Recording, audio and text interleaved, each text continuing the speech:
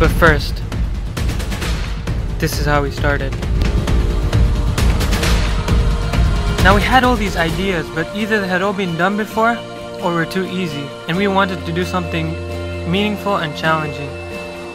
And we really liked the idea of the helicopter. So we did some more research and came across Phantom 3 quadcopter. It's currently being used in areas such as firefighting, package delivery, and aerial cinematography. But the applications of the quadcopter itself are much, much broader. To the extent where similar technology may be used in making flying cars in the near future.